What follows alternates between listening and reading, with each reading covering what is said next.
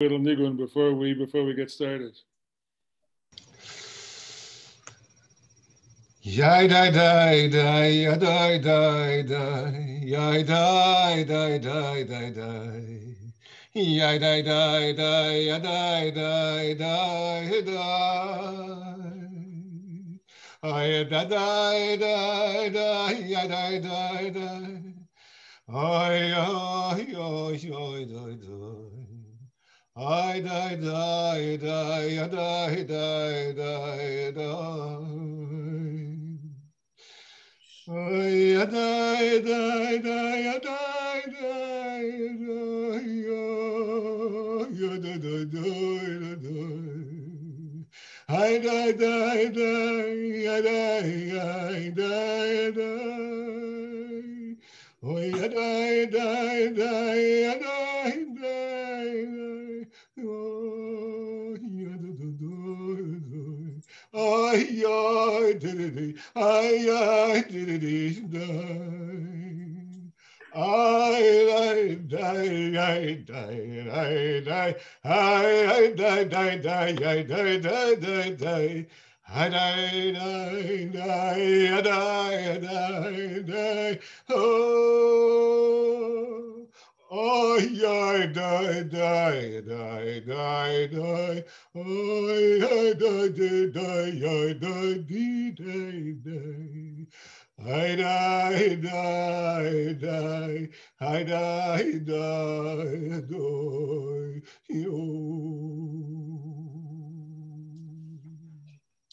Oh, Shkoyach. ברוך תהיה, ברוך תהיה, ברוכים תהיו. So it is such an honor and joy to welcome everyone this evening. Amazing um, to see all these faces. Um, I actually want to encourage you if you're comfortable and you don't have your video feed on yet to, um, if you're willing, turn it on at least for a little while so Art can see all your faces. That would be really meaningful. Um, thank you so much for being here um, to celebrate our teacher Art on the occasion of his 80th birth birthday, which uh, he just recently um, crossed that threshold. And I also want to say, Art, thank you for letting us be here tonight uh, to celebrate with you on this occasion. Um, as I was looking at the names of people uh, registered for this evening, and as I'm looking now at the faces on the screen, on the many screens, um, I am struck yet again by art, the worlds that you bring together, the worlds that you bridge and bring together. Um, the world of academic scholarship in the world of the Beit Midrash, the world of institutional Jewish life and of anti-institutional Jewish life, uh, the world of your teachers from Eastern Europe and the world of your students in North America and Israel and around the globe, the worlds of Jerusalem and Boston and Berkeley and Philadelphia and Chicago and the antique shops of Western Massachusetts and uh, so many other places around the world. Um, the world of political activism and the world of devoted spiritual practice, uh, the worlds of seekers of all faiths. It's only fitting, of course, uh, for us to celebrate tonight by learning together. And so I'm going to turn things over to Art in just a minute. Uh, but before I do, I want to I want to say just a word about two other worlds that you have taught us to bring together. And um, you've done so insistently and urgently and faithfully.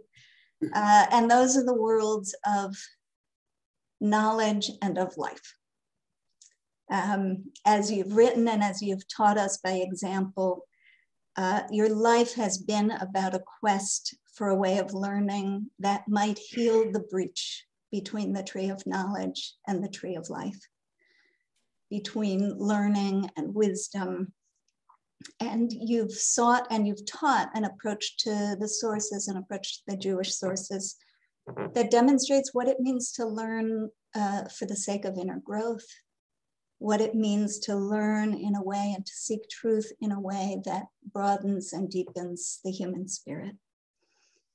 In bringing together these worlds, you've had a profound influence on my own life and uh, on our work here at Hebrew College, and I suspect on so many of the people who are gathered here this evening. So we're honored to have the opportunity to learn with and from you this evening, and also to have an opportunity to learn with and from your dear friend and colleague, Dr. Michael Fishbane, Nathan Cummings, Professor of Jewish Studies at the University of Chicago, and also I have to add, esteemed Hebrew College alumnus. Um, uh, he'll also offer some, uh, some of his own remarks and reflections after Art's teaching this evening. So thank you so much and Art Bechavot. Wow. Uh, thank you all for being here. Uh, thanks to you, Sharon, for organizing this, uh, to my dear friend Buzzy for responding. I um, also want to thank two dear friends who are not here tonight, um, and they are they are Limor Rubin and, Rabbi Tamar Elad Appelbaum, because this was all their idea. It was my Israeli, it was my Israeli friends and and and and and and, and disciples who said, let's have an evening like this for the public, for people who don't know you, we already had a birthday celebration for some for some closer friends, but let's have something for the public. It turns out, to my great delight, surprise, and delight, I am being fairly widely read in something called the Mechinot Kedam Tzvaiyot, groups of 18 year olds in Israel before they go into the army have, have discovered me. And uh, so a bunch of those people and other Israeli readers will come together in a few weeks in Hebrew. But once I told Sharon about that, she said, we've got to do it in English as well so that's sort of the gilgul of how of how this evening happened, and I'm really delighted to see you all, and especially especially people I haven't seen in a long time, dear friends, um, dear friends, former students. It's really a great pleasure and honor that you have that you have come here to be with me. Um, I want to uh, begin with two comments that have to do with turning 80. Um, and then from those go into what the evening really is, which is what do I really want to teach? What do I really have to say? And I'm going to do that in a particular way, which I'll explain to you as we go along. Shana, could we have the first, uh, the first screen? We're going to do some sort of uh, PowerPointy things that I don't usually do.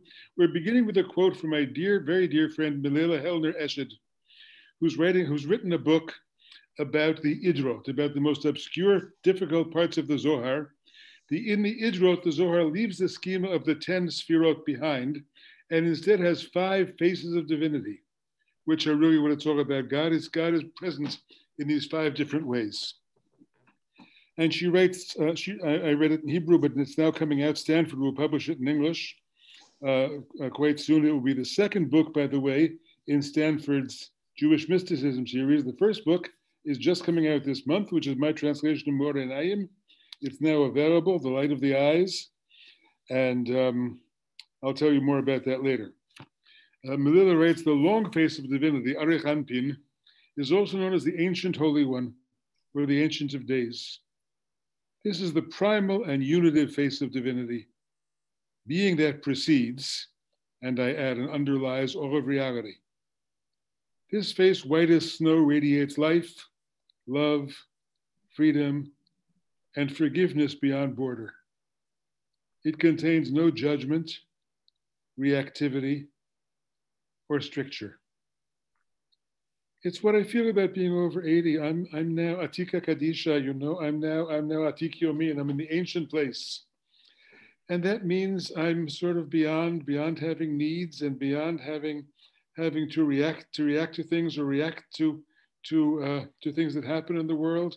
All I really want to do is, uh, is radiate, is radiate some life and love and freedom and forgiveness and, and be with people and give to people. Um, it feels like a moment, a moment of pure chesed, because uh, 10 years ago, I read the Pasuk very, very hard that said, Yemeshno, Yemochnotenu Shivim Shana, the days of our lives are 70. And 70 was a big kick in the butt and said to me, What do you still want to get done? And my 70s have been my most productive decade until now, because the answer was a whole lot. And 80 feels like Higavaralenu Chasdo, you know, that uh, that um, that the imbig Manim Shana, so maybe, maybe by power, by dint of power, you get to 80. But once you're over 80, it's all pure chesed, it's all a gift. There's no, I haven't earned it. Certainly not by the way I've treated my body all these years, God knows. Uh, it feels like a completely undeserved gift. And so all I want to do is give back. All I want to do, all I want to do at this point is give. And um, and that feels like that feels like a very lovely place to be. And that's a, that's a sort of that's introduction number one. Introduction number two. Now we'll get to now we'll get to something else. Uh, Shana, switch the switch for us, please. Um, so the Talmud says in Brachot, Luchot v'shivrei luchot monachim ayu ba'aron. Both the whole and broken tablets were placed in the ark. If you look at the context of the Talmud, the reason I bring it up, or I feel I have a right to bring it up, is because it really says, take great care to respect the elders, an elder who has forgotten his teaching. Because both Luchot and Shivrei Luchot, whole and broken tablets, were placed in the ark. Thank God I haven't reached that state yet. I haven't yet forgotten. But that will come. You know, there will be a day. It may take me a little longer than it took, even a little longer than it took before to remember everybody's name. And um, and I, I, I, look at that and I say, whole and broken tablets. I, I have to say, I picture Moshe Moshe Rabbeinu with his little crew of Levites, sending them around to pick up all the pieces of the broken tablets after he smashed them at the foot of the mountain. We don't know how many pieces he smashed them into, but I imagine these Levites on the hunt for broken pieces so they could put them into the ark. Now, I believe the broken tablets were placed in the ark for a generation like ours because we are not capable anymore of learning from whole tablets.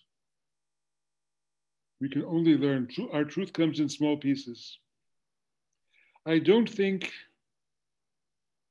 just as I can't be an Orthodox Jew, though I've become, as many of you know, pretty observant these days, I can't call myself an Orthodox Jew the same way I couldn't call myself an Orthodox Freudian, an Orthodox Marxist, an Orthodox Jungian, because an Orthodox Hegelian, because it's all, truth comes in small packages. All the grand systems have failed us. Kabbalah was once a grand system of truth like that. It began to break down in the 18th century, and Hasidism in some ways came about because of that breakdown. So all we have, all we have are small pieces, are fragments. And each of us puts the tradition together in our own way. Each of us puts the luchot together in our own way from the fragments of tablets. What I want to do this evening, this is the introductory statement. What I want to do this evening is share with you some of the fragments of the broken tablets that have spoken to me most. All I'm going to do is quote phrases from the tradition, a group of phrases from the tradition, and talk to you about what they mean to me and why they've been important, and what these broken tablets are, what these pieces of the broken tablets are, and how somehow they have come together for me into, uh, into being a Judaism that works for me. So with that introduction, we'll now turn to the first one. Since we're talking about the beginning of the tablets, the first one was obvious to me. Shana? Anochi v'lo yelecha mipi shamanu. The first two commandments, I am and have no other, we heard from powerful divine speech. Those really came from the mouth of God. All the rest came through Moses. This comes about because of a gematria. The Talmud doesn't use very many gematriot, but in Makot it does. And it says, Torah tzivalanu Moshe, Moses commanded us the Torah. The word Torah in Gematria is, is 611. So Moses commanded us 611 commandments. What about the other two? Why aren't there 613, the traditional number? Because Anochi v'lo. We heard those two commandments from the divine mouth itself. What does that mean? There's a tradition that all the commandments are then are then rooted in the first two. all the positive commandments supposedly come from Anochi, I am, and all the negative commandments are rooted in Lo Yelecha, in, in forbidding and forbidding um, uh, idolatry. Those two commandments contain the entire Torah. But still, I ask, what does it mean? I don't know a God who speaks words. I don't know a God who speaks in language. I don't know a God who speaks all 613 commandments. I also don't know a God who verbally speaks these two. But I believe these two are spoken directly from the mouth of God, which to me means the inner mouth, of course, the voice that speaks within us. I think being human gives us an instinct parallel to what animal instinct is, parallel even to what instinct is in the plant life. There's nothing in the plant kingdom, there's nothing in, in, in, in, in botany that says God speaks to trees. But trees know somehow to reach up through the forest so they can get a little bit of that sunlight. They know to send their roots down where, to a place where they can get water. If you believe this, uh, this very interesting botanist in Germany who studies forests, they even help one another find those places. Um, animals have a voice within, inside them that says, that says, eat, thrive, reproduce, eat, thrive, reproduce. That's all the word, that's all the living word of God to me. That's all the, the living word. You may call it the voice of evolution, you may call it the, you may call it nature, the word doesn't matter to me. Because of the development of the human brain and what I call the human soul, we also have a voice within us, the same kind of voice that says, figure it out. What are you doing here? Why do you exist? Why do you exist? How does it happen that you occupy this stage of existence for this, for this instant in evolutionary time? Passing genes on from your grandparents to your grandchildren and passing on cultural legacy just like you pass on the genetic legacy. What's it all about? Figure it out. That word is the first word God says to human beings in Gan Eden, in the Garden of Eden. Ayeka. God says to Adam, Where are you? Well, that where are you is said again in the form of Anochi, because it's that. How, here's how I translate Anochi v'lo yelecha mipiak v'rashamanu. Awareness of the underlying oneness of being sets you free from all your narrow places. Don't betray it and worship anything less. Once more, awareness of the underlying oneness of being, Anochi, is what sets you free from all your narrow, constricted places.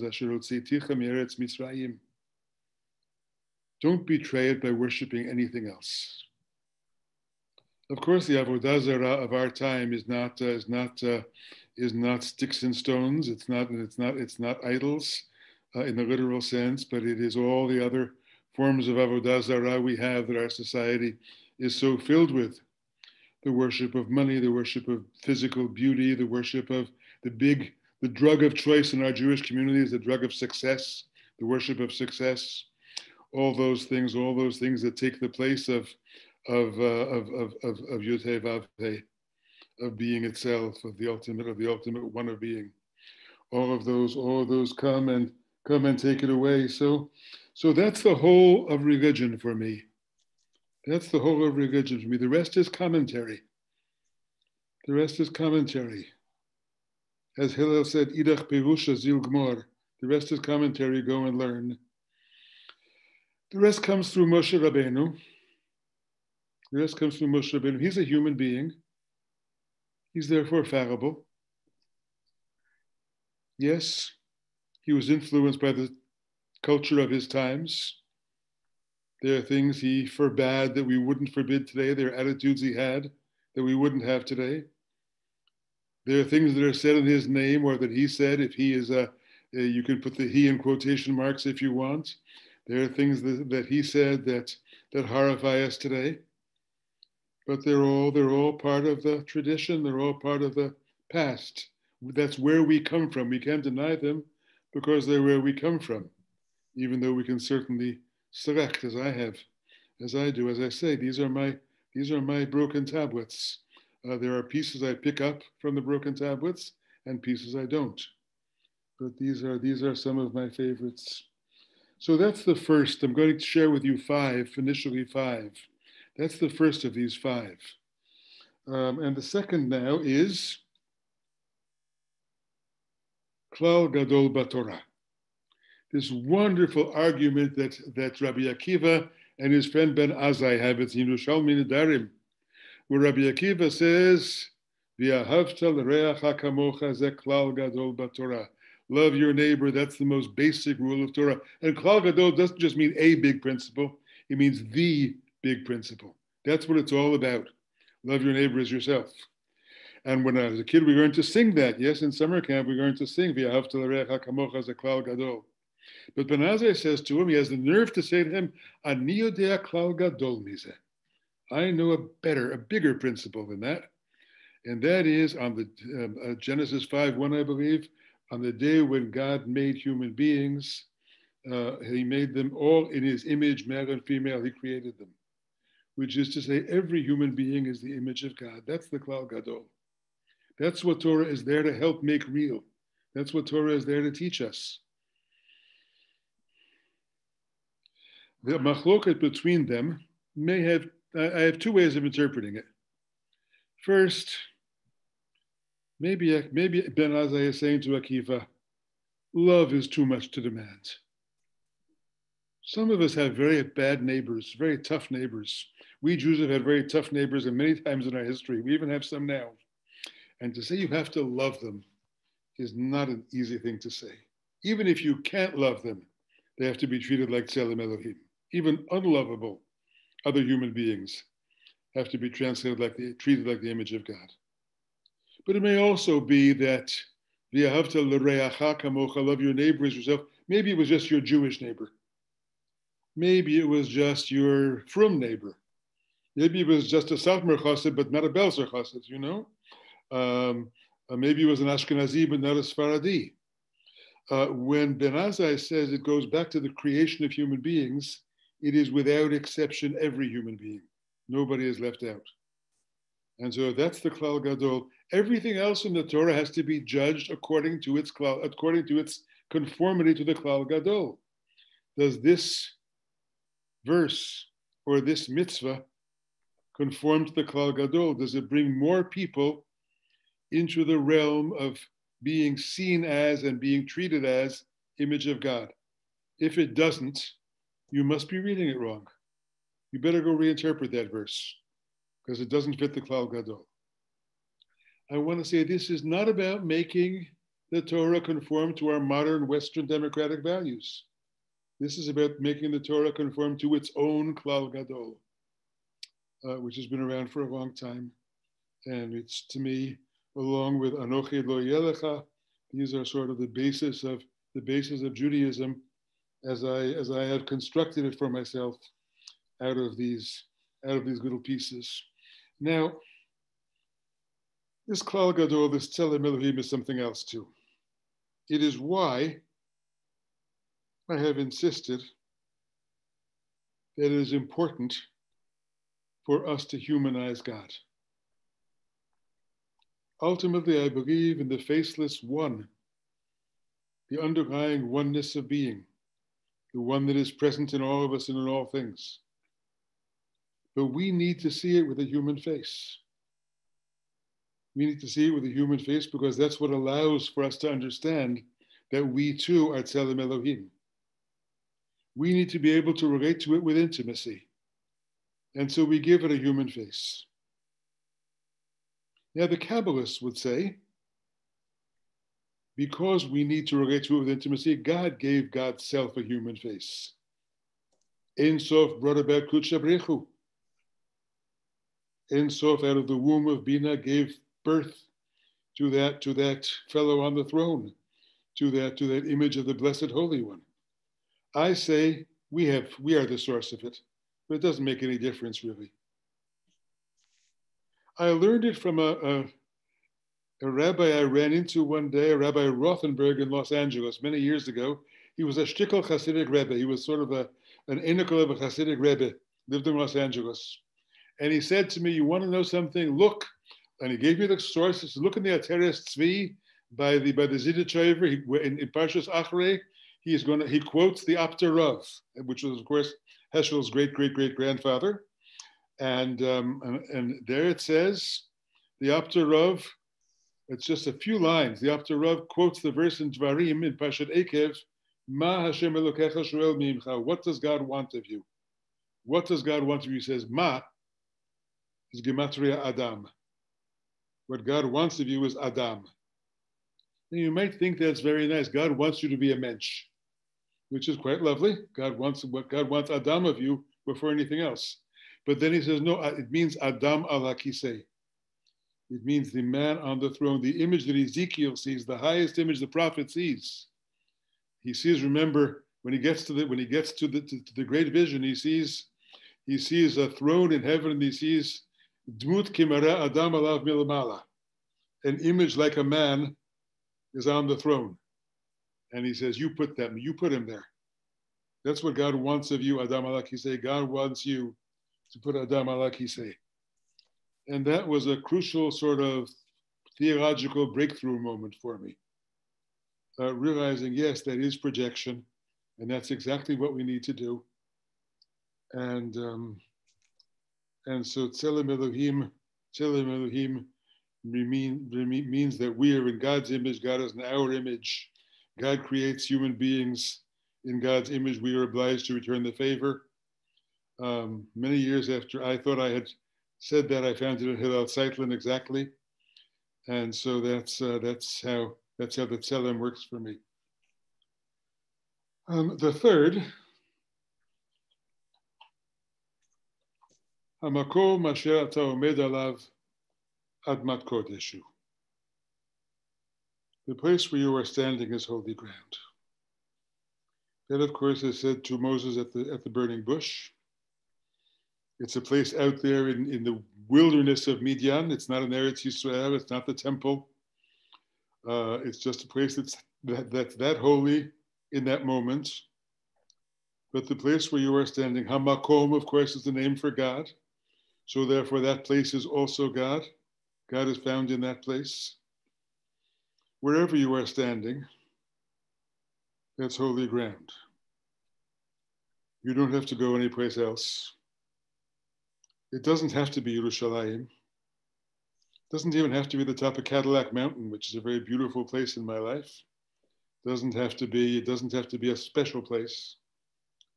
It just has to be the place where you are standing.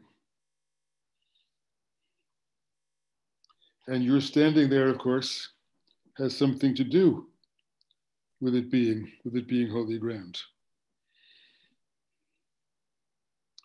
There's a verse in the Psalms that we say in uh, in uh, in Shacharit in Uva L'Tzion. It's been important for me lately. Vata kadosh yoshev tehilot Yisrael. Vata kadosh yoshev tehilot Yisrael. You, O Holy One, dwell amid the prayers of Israel. Where is God? Where is God to be found? Right there in our prayers. The way God used to be called Yoshev HaKruvim, he sat on the cherubim. Remember the cherubim, the Kruvim were a seat. God would come down and sit down on the seat. God was Yoshev HaKruvim. Now God is Yoshev Tehilot Yisrael. God dwells amid the prayers of Israel. And this takes me to something else I could have listed here, but there was uh, there wasn't room for it in the five, but it's part of this. A favorite teaching about prayer that uh, I read from Rabbi Pinchas of Koretz, uh, a, friend of the Baal Shem Tov, who said, I quoted this many times, many of you have heard me say it, I'm sure, in Hebrew, Baruch.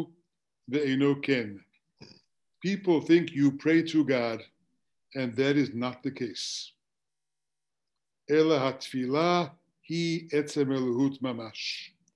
But prayer itself is of the divine essence. Your praying is a holy act. Your opening your heart is making a throne for the divine, which will come a light on that throne. And that is, that is the Makom Kadosh. That is the place of holiness because it's the place where you stand. So, uh, understanding that, understanding that about every place and every place in the metaphorical sense, every existential situation place um, can be holy ground, is holy ground. All we have to do is open ourselves to it. All we have to do is discover it. That all, of course, is a life's work. But, uh, but that's what we're here for. That's what we're here for. And that takes me, that takes me to the fourth of these five. No, that's you, you skipped one. Go back one. That's right. That's right. This now I go to Rabbi Nachman.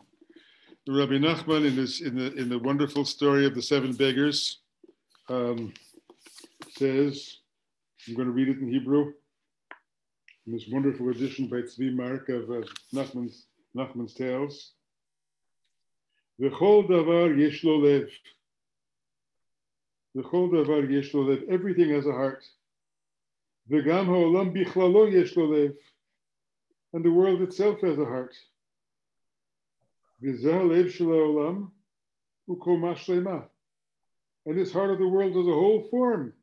In panim v'yadayim v'raglayim v'chol. It has a face, it has hands, it has feet. אבל הציפורן של הרגל של אותו לב של העולם הוא עוד מלובב בלושן אשכנז הרצקר יותר מלב של אחר.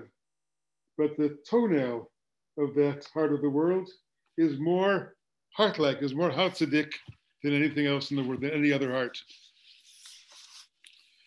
So that sense of the heart of the world, you've all heard me teach that the journey to God is not a journey up, but a journey in.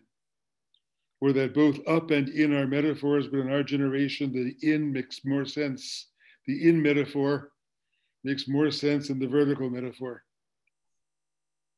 Um, everything in the world has a heart, and the world itself has a heart. God is the heart of the world. And you go into that heart. And you go into that heart by opening your own heart which is to say in the language of the Zohar, Kula Berechimutalia, everything depends on love. It's all about love. I think for me, the religious life is all about love. I don't think there's any other motivation left. Why do you, why do we live as Jews? Why do we, why have I remained within the realm of the tradition? I could have walked away. There were times I wanted to try to walk away. Sometimes I remember Bialik Hamatmid, the last, the last guy left living in the empty, desolate Beit Midrash, and and sort of the sort of the Shekhinah plead, pleading with him not to leave. But uh, it feels more like a plea than a command. But um, but it's also because all the other motivations, the motivation of fear, God's going to punish you if you don't do it the emotion, the, the, the, the, motivation of guilt. You can't do this. You can't do this because of the Holocaust. You can't do it. You can't do this because because of your because of your of your of, of, of your grandparents. You can't do this because of this and that. It's all gone. There's only love left. And I'm here because I love this tradition and want to carry it on.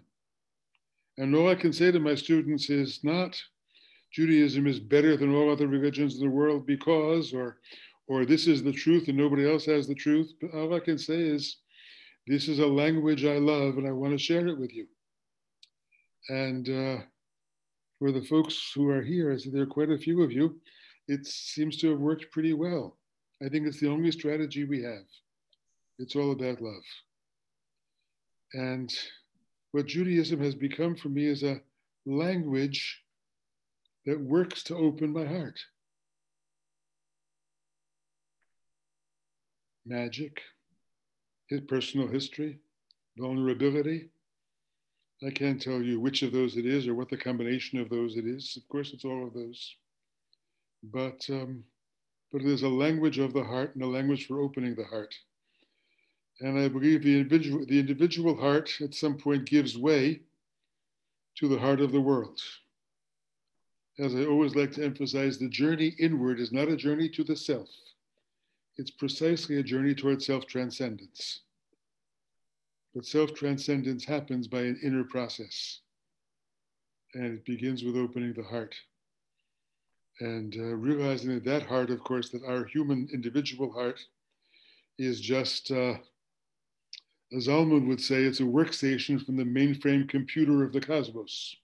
But since I'm not much of a computer metaphor guy, I'll stay. I'll pull back from that one and say it's an outer levush of the of the inner heart of the world. Um, so that's number four. It's all about the heart. And now the fifth. Let's see if we get it right. Yes, it becomes collective. Vatem tiyuli mamlechet kohanim v'goy kadosh. I am, I am committed to Jewish existence. I am committed to the existence of the Jewish people and the continuity of the Jewish people. But I think it has to be a purposeful existence. We signed up at Mount Sinai, again, metaphoric or historical, however you want it. We signed up at Sinai to be a Mamlechet Kohanim. Um, to be a kingdom of priests means a priest is there to serve others. A priest is not just there for his own soul, a priest is there to serve. So we are dedicated, we are collectively dedicated to a career of service. That's what Mamlechet Kohanim means. That's all that chosenness means. We have chosen, I understand it as we have chosen, we have seen ourselves as chosen to serve as a kingdom of priests.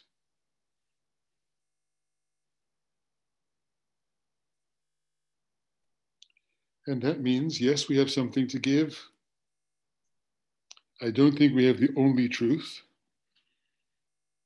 but we have the single universal truth of the oneness of being in a language that preserves and passes on many important human values. Some of them are in this five sim that I've given you. Um, we are dedicated to that a Jewish existence that betrays that belies Jewish existence. Whether that is a Jewish existence of self satisfied upper middle class American life, or the Jewish existence of a Jewish state that engages in wholesale arms trafficking around the world, or a Jewish existence that sees Jews as superior to other people and looks down on others.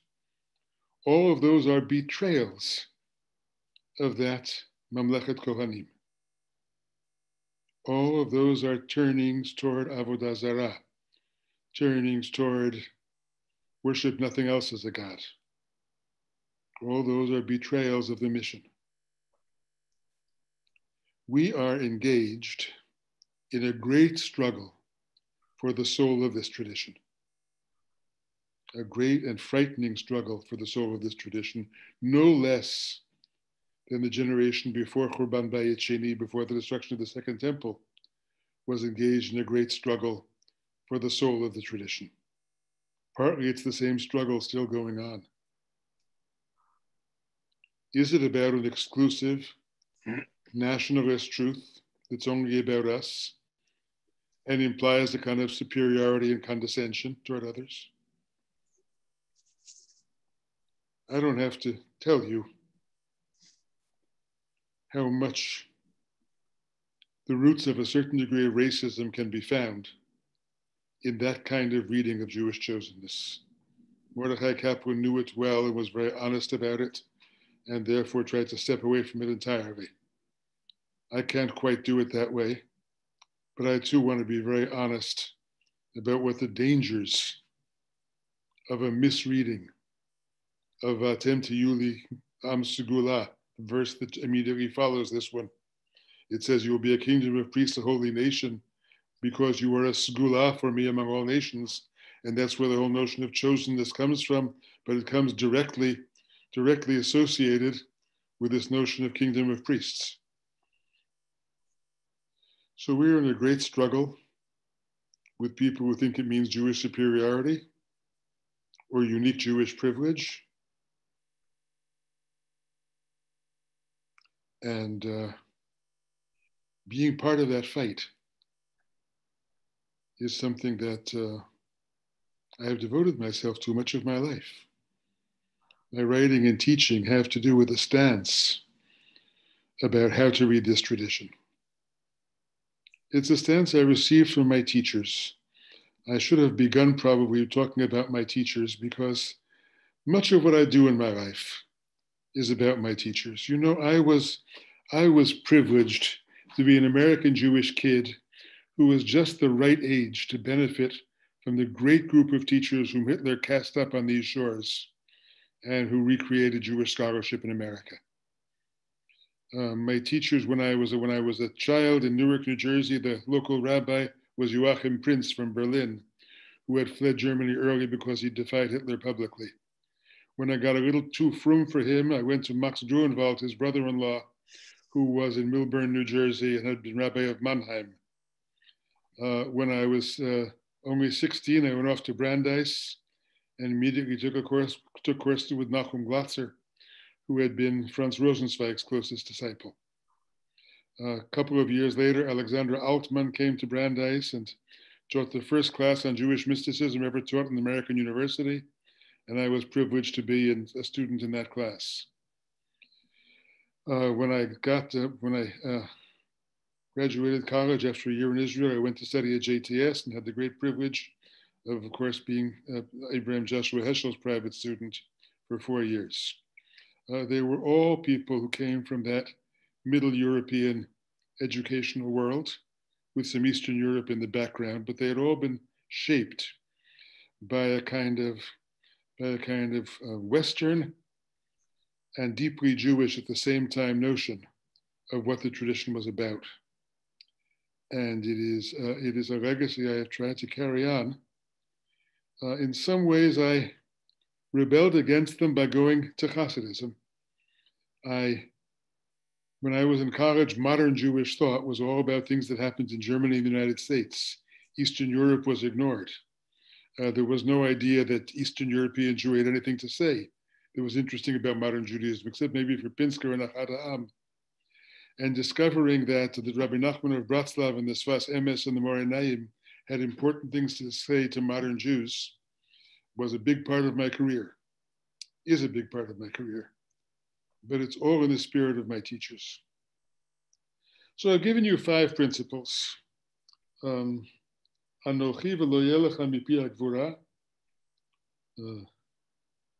Klal Gadol Batorah Tzelem Elohim, Admat Kodesh, Lev HaOlam, Mamlechet Kohanim. Uh, two commandments directly from God.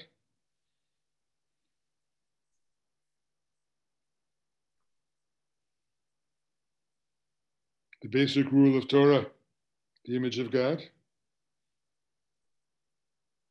The place where you stand is holy ground, the heart of the world, and the kingdom of priests. Those are five principles. You remember v'chamushim alu b'nei Yisrael meretz Mitzrayim. Doesn't mean they came up with their chumashim. It means with these five things you come out of Egypt. These five things liberate you. Chamushim alu b'nei Yisrael meretz Mitzrayim. But these five, these five principles are very nice but they only give you one of the two tablets, and we have to make the whole tablets. So the second side of the, of the 10, the second five, I give you from a traditional source. And Shani, you'll be good enough to put this one up, the last one. This is tshuva.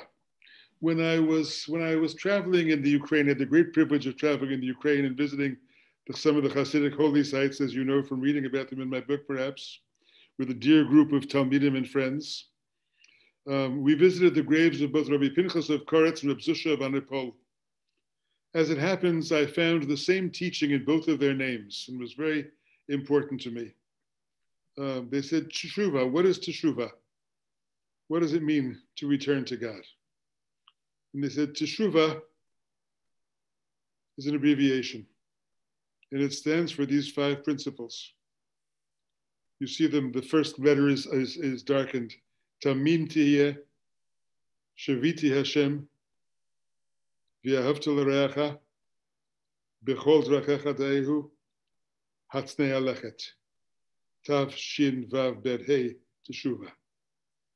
I want to say just a brief word about each of them. Tamim. Be wholehearted. That means be honest. Be honest about your religious life. Don't pretend to believe in things you don't believe in. There's no, there's no reward for that.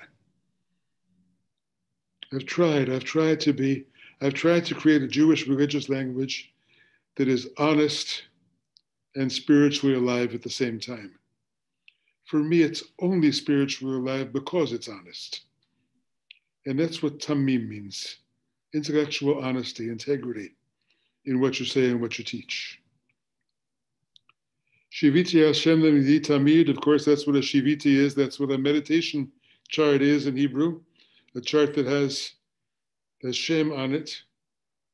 The name Yud Vave always before me. The name Yud Vave is what I insist on. You know, I don't like the English word God and don't feel much loyalty to it. But Yud Vave is that impossible conflation of the verb to be of Haya Hove all smushed together into a noun that doesn't exist otherwise. I like to translate it is, was, will be. And I like to remember that as the Torah says, if you think you've got God in a little box because you now have a noun, Yud He remember God has already said, asher I'll be whatever I want to be. You will not catch me in a nominal box. You will not make me a thing. Yud is not a thing. It's not an entity. It is. And that's the name to keep ever before you. We've spoken of already. Yes, yes, there is a neighbor who's closer than Kol Adam. There's a neighbor that's who's closer, who's closer than Tzelem Elohim. You do have a neighbor. There is somebody who's close to you, who's part of your community, who's part of your people.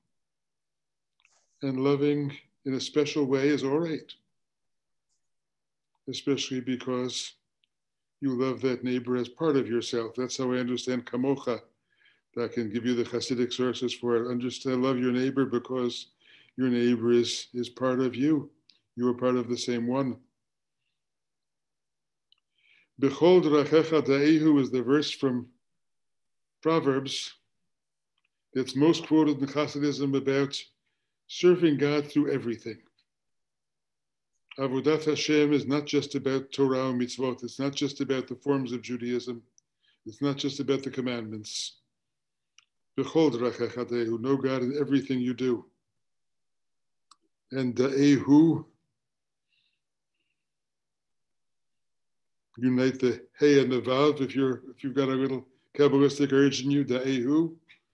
But of course, da'ehu yada is also from the word yada in Hebrew, and the word da'at in Hebrew always carries with it the first use of that word yada in the Torah, Adam yada ishto it means intimate knowledge. It means the knowledge with which Adam knew his wife Eve.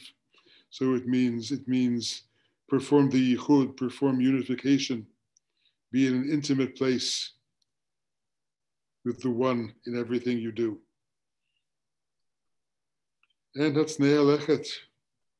Walk humbly with your God. That's what uh, that's what the Talmud says. Micha reduced the whole tradition to, the whole Torah to was Hatznei Alechet Elohecha, walking humbly with your God. Now, you might say, when we look back on this list, hey, he didn't talk about Judaism. Where's Shabbos? Where's mitzvahs? Where's study of Torah? Uh, to me, those are all the means to this, to these values. That's how I do it people sometimes complain that Judaism doesn't tell you how. Jewish mystics don't give you instructions on how to achieve a higher state or how to become one with God or how to enter Dvekut. And I think that's true. That's true. There is not much talk about method. First you do this, then you do that. Close your eyes, close your eyes and do this. There isn't much talk of that because they thought of that's what the whole tradition is about. That's what it's all about, all the mitzvot. And the act of Talmud Torah are about that intimacy and are about that immediate sense of presence. Those are the means. These are the ends. So that's the job. The job for me is uh, is keeping those as means and not letting them become ends in itself in themselves. When they become ends in themselves, I have no doubt that mitzvot can also become avodah zarah, can also become false gods. If they become ends in themselves, and you worry about you worry about the about the how and the details, and not about where they're supposed to take you. So the job has been trying to do that in my life, to find my way back to back to more whole observance, and at the same time to understand that it's all that it's all a means to these ends and to expressing these things I've been sharing with you. So that's uh, that's what it's all about. Those are my uh, those are my ten for tonight. Elsewhere, I've I've had the terrible chutzpah to uh, to write thirteen ikarim, uh, 13, 13 uh, credo of thirteen principles of neo Hasidism. Here I have even greater chutzpah to to give you ten to give you 10 and two luchot, but I ask to be forgiven. Since I ended with Hatznei Alechet, I hope I won't be seen as being too prideful in doing this. And, uh, and I hope that, uh, that some of these fragments will be meaningful to you. Uh, your, your set of fragments is going to be different than mine, um, precisely because we, uh, uh, Shana, can you take it down? Your set of fragments will be different than mine because each of us is a different person on a unique journey. And we're going to find different pieces of those Shivrei Luchot, of those broken tablets to put together. And that's all for the good. Maybe one of you will find Shatnez to be terribly meaningful, something I've never paid attention to, but there it is. There it is. It's a piece of the tradition. And uh, go for it. A different piece than mine. Um, when I was a kid, when I was a kid, the word mikveh was known to me only because of certain Yiddish jokes and remarks in the family. I never knew anyone who went to one. But my goodness, all kinds of all kinds of all kinds of uh, women and men in our generation are finding mikveh meaningful in ways that my that my grandmother's tante Shushka never would have dreamed of. And uh, so uh, so yes, um, pick up the fragments, try to puzzle it out, and see what, uh, what, what whole tablets you make of them. Thank you for listening. I now want to have the great privilege of, of listening to my dear uh, and highly, highly esteemed friend, Michael Fishbane. Thank you so much, Buzzy, for, for agreeing to do this tonight. Shalom. So it's, it's a very great pleasure, Art, both to um, see your face at 80 and to see within that face the face that I remember for over 55, almost 60 years ago uh, when we first met. Um, the uh, the tsuras hapanim, the, uh, the shape of the face doesn't change, um, the voice doesn't change. And I think that um, hearing you uh, tonight uh, is a great pleasure and a privilege uh, to to realize that one can live in these uh, difficult and broken times with integrity. Um, and one is, it's the striving for integrity. Perhaps one of the things you didn't mention is the striving. It's that issue of the quest, that each of these pieces of the 10 have been put together uh, with honesty and pain and prayer and fellowship. And they've been put together with a chevraya, not just with a single self, but you had the vision to try to balance between the subjective and the objective. Um, because I'm seeing your face and I'm remembering faces from the 60s when we first met, perhaps I should um, share with everybody. You said so much about your ani ma'amin, that, and I want to leave everybody with your voice. But I do want to add a couple of things to what you said very briefly because the hour is late. but I remember the first time that we met. It was in the mid 60s uh, at the Jewish Theological Seminary. And I was um, in New York for a very scholarly conference. And uh, someone asked me to come upstairs because people were going to be talking about a chavurah and about a spiritual group. Uh, and would I want to listen to the discussion? And uh, I was in those days filled with philology and uh, stuffed to the gills with languages. Um, but uh, there was something magnetic about that pull. And I remember going up the stairs and we sat around and people were trying to be honest about what a seminary should do for a person and not just convey abstract knowledge or not just convey academic uh, knowledge, but how learning can make a person into a person, into a Torah, into a living Torah. And I remember Art um, speaking about his personal study with, with, uh, with Heschel and the feeling that we weren't doing enough in the 60s to step out with the Berrigan brothers to uh, respond with social justice, to respond with a spiritual group that would learn a new language of prayer, that would learn a new language of being together. And that discussion, which took place with multiple voices, with some extraordinary people in that room who were all as conflicted as we were, but it was in that conflict that we created something holy. And your voice and your presence was always central. Uh, you concluded what you were uh, saying about the teachers, and I, uh, I just want to mention a couple of words about that. As I was thinking about you and your legacy, um, I was thinking about the issue of kinyan. What does it mean to have a kinyan? And of course, in the halachic tradition, one has to first be a receiver before you can be a giver. And people like Art and myself were not like our teachers. Our teachers had this with their mother's milk. They were saturated. And we had to learn how to come and appropriate, to receive the tradition from our teachers. But receiving halachically is you have to lift it up and take it into yourself. You can't, it doesn't simply remain in the other domain. The other's domain was their life. It was the way it appeared in their texts. In a way it appeared in their reality.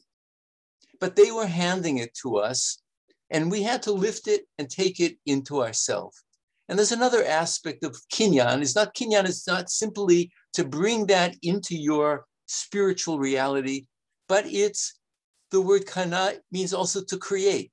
Koneh shemayim va'aretz. There has to be a new moment of creativity. The taking over has to respect what we receive, but to find the new voice. Uh, and you spoke um, very much and very movingly about what it means, you know, uh, in the Zohar, of course, if you can get through all those 50 rungs, you find a mafteach and you can go in. And you've given all of us here who haven't merited all that work, a mafteach into the tradition.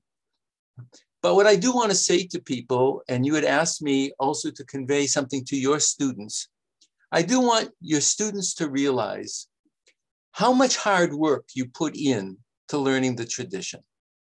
The tradition just doesn't come and flow. There is an enormous amount of spiritual labor and I'm sure your students have read, but they should understand that your, your study and your publications cover Midrash, they cover the early Middle Ages, they cover the Middle Ages of Kabbalah and beyond, and they cover the modern period, and images that flow from antiquity to the modern period. And you learn all of this skill set to learn that in order to choose and in order to integrate personally, you've taught us or you've repeated in your life that a person has to put in the hard work. And the hard work takes place in privacy. And you just can't grab something You've given us the gift of this, these enormous anthologies, these enormous syntheses, these enormous integrations. But everybody should realize that they come through spiritual struggle. Every single one of your works is reflecting your encounter with the history of religion, your encounter with the history of tradition, your encounter with comparative religions, and your integration of this, uh, whether you were talking about certain aspects of Midrash and linking them up to the way Christian traditions were being rejected, or whether you go to the Shekhinah in the Middle Ages and how people could see how the traditions are uh, have parallels with Christian symbolism of, of Shir Shirim, or the kind of phenomenology of the inner spiritual life. You have shown us not just the spiritual content, you've shown us the hard work of how to integrate the history of the academic world and to make it personal.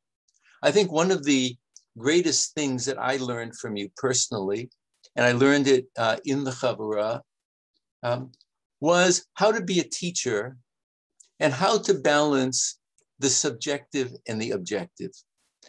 How to learn the kalim to receive the kind of technicalities of the tradition, but to give it a personal voice. And then also to have the courage to realize that the tradition doesn't come ready made. We have to make selections, we have to make choices. And you've given us the model of the power of selection. It says, Kol Hashem Bakoach, but the Mechilta says, everybody has their own koach. The mysterious word koach is not just strength, it means ability, it means capacity, it means potentiality. It means everything that a human being can bring to that. So when I look at you, Art, um, and what you've done, um, I'm grateful for the way that you've taught us to speak in a, a voice of integrity. I'm grateful for the way that you have not abandoned the hard work of academic work, right to the very end of what you're doing now, is even in your work in Hasidism, you have turned more to the sociological and the historical and the nuts and bolts of what it means to walk on the earth in a very specific, concrete way. And you have shown us that one doesn't have to give up the academic world and the spiritual world. One has to find a modality of integration. And you have become and you remain this great, this great model for us um, of what it means to be a Sefer Torah. You talked about putting the Luchot the Shivrei HaLuchot. But the greater ideal of tradition is that one has to become a Sefer Torah and to treat other people as a Sefer Torah. And your life is a Sefer Torah filled with different kinds of uh, levels. So as you are, have Gevurot, um, I give this, uh, I in the name of all of us, I say Shehechayanu and Baruch Shekiyamanu, so that we could continue to learn from you. And may your voice continue to be a coal that is broken into 70 pieces in all the languages so that people of different levels, different traditions, and different ears and different hearts can all resonate and grow with a heart of wisdom. Thank you for being my friend. Thank you. Thank you. Mm, amen, amen. Don't go away. I'll be right back. I have to show you something.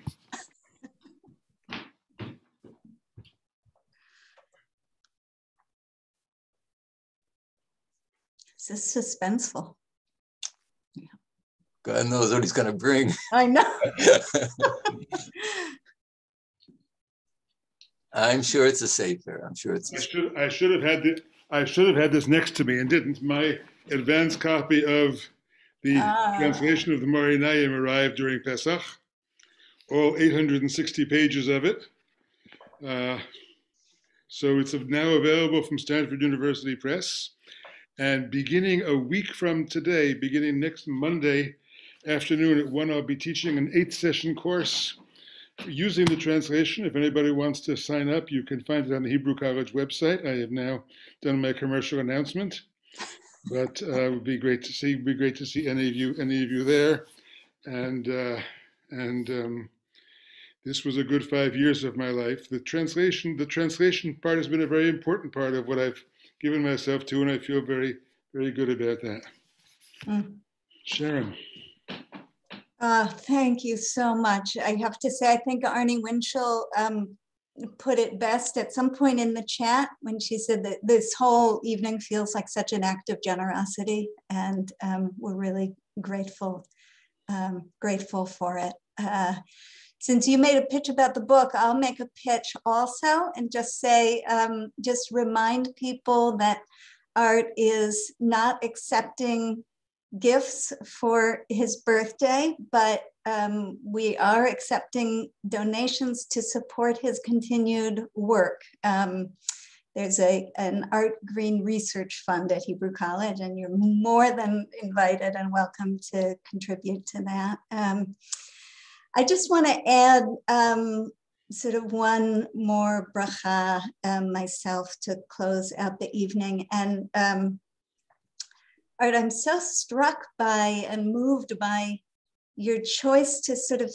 speak to us through fragments tonight. Um, and there's something about that that feels very much connected to what you said about um, when you said uh, sort of the language that you seek and try to teach is only spiritually alive because it's honest and inviting us to do the same. And um, you reminded me in sort of speaking about the fragments and the Shivrei Luchot of um, a Bialik essay that you know, Chaim Nachman Bialik essay that you know that I hold very dear uh, called Gilui V'Kisui B'Lashon, Revealment and Concealment in Language um, where he sort of talks about the language of poetry as um, uh, sort of learning to learning to walk on um, pieces, blocks of ice crossing a river, you, you, know, that we're not walking on solid ground and we have to kind of um, learn to walk on those blocks of ice. So maybe there's some connection between the, the blocks of ice and the fragments of the Luchot. Um, but he also ends that essay by saying, and so I want to offer this actually in in the form in the form of bracha to you. Um, he closes that essay by uh, saying, in addition to the language of words, there are yet to the Lord languages without words, songs, tears, and laughter. And the speaking creature has been found worthy of them all. And then he goes on to say, every creation of the spirit which lacks an echo of one of th- these three languages is not really alive. And it were best that it had never come into the world. And so um, I just was thinking about that as you were speaking and feel that, um, feeling that part of what makes your language and your teaching so alive for us is its honesty and the ways in which it carries the echoes of, of those three languages um, of tears, of laughter, and of song. And so, um, you know, maybe that's part of the um, the secret of of this capacity, extraordinary capacity for chidush for ongoing renewal um, that you have. And so my bracha tonight at this, you know, on this occasion of your 80th is just to bless you with that continued capacity that you have for chidush, for hitchadshut, um, that you, you model and teach so beautifully. And um, so I'll close with sort of a, adaptation of just a few words from a poem by uh, Zeitlin, Zeitlin, um, uh, that I think I learned from you, and you've talked about him as the closest thing you have to a rabbi. And uh, it's, of course, from uh, the Odapam. Um, but um, paraphrasing him, Nisham becha minishmata po, v'chayita chayim chadashim. May you come to life anew with every breath that you draw from the breath of all life. Amen. Thank you so much, everyone, for being here. Thank you all. Erev Tov. Wonderful to see you all. Many more happy to be, maybe be together for many more happy occasions in the future. Amen. Mine, Amen. mine and all of yours. Amen. Amen. Amen. Amen. Amen. Amen. Amen. Amen. Okay. Beautiful. Happy Oh, birthday. Beautiful. Color covered. Boy. I tell you, I'm sending a thing right now to Sharon. Ja let it come mij.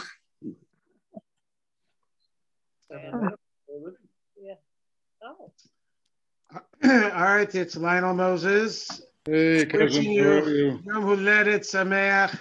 Haven't seen each other so we since we both left Israel uh, a year and a half ago. But uh, we will soon. Are you in Israel now? I'm here now. I'll be in Israel August, September, and then again next winter, I think. Good. So I will see you uh, next winter, God willing. Bezrat Hashem. Let's hope. So it's Nachum Tversky wanting to wish you Nachum, Yom Huledet Sameach. Thank you, thank you. I'm probably the only uh, descendant here of your precious Sefer that I look forward to its translation. You never can And- tell, but probably unless unless unless Gail Reimer is also here, she might be. He She might be. was, Gail was Gail's here, Yeah. yeah. Hi, uh, hi, Great. everybody. Nehemiah, Sherry, Eddie, Louis Mintz. Nice to see you, Louis. Been a long time. Yeah, great to great to great to see everybody. Mazal tov, mazal As. I- scroll through the pictures, Aria, I'm glad you made it. Thank you. Hi, Jeff Soltar. Hi, Michael Soltar. Brooks. How, uh, great to see, great to see people. It's great, Louis, nice to see you. Louis Great to be here. so great. I have to go. Bye. Bye. Bye.